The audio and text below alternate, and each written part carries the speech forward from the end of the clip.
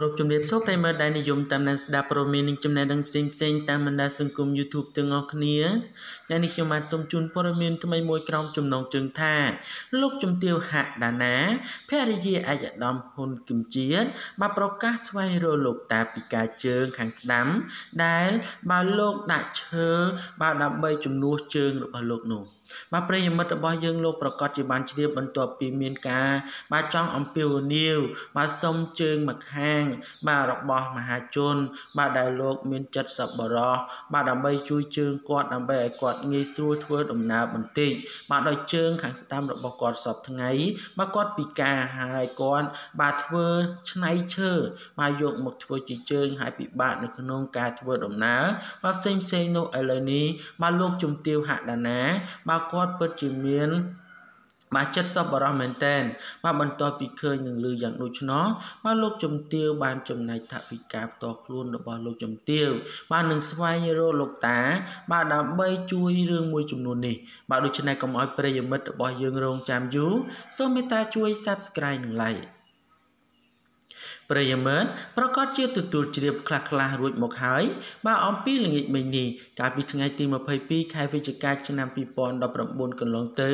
នៅរឿងរ៉ាវលោកតាពីការជើងខាងស្ដាំម្នាក់ដែលមានជីវភាពក្រីក្រនិងបាទមិនមានលទ្ធភាពបាទទិញជើងសបនិមិត្តបាទសម្រាប់ដើរដូចនឹងគេ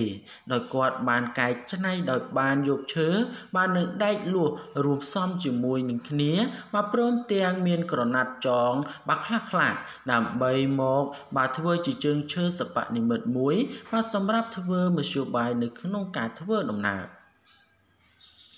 នៅក្នុងនោះផងដែរបើយោងទៅតាមគេហទំព័រ Facebook មួយដែលមានឈ្មោះតាផនចត្រា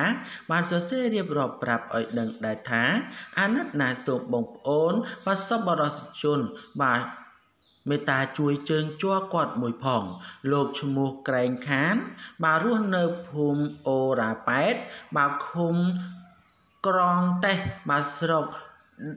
បាទស្រុកពេជ្រដា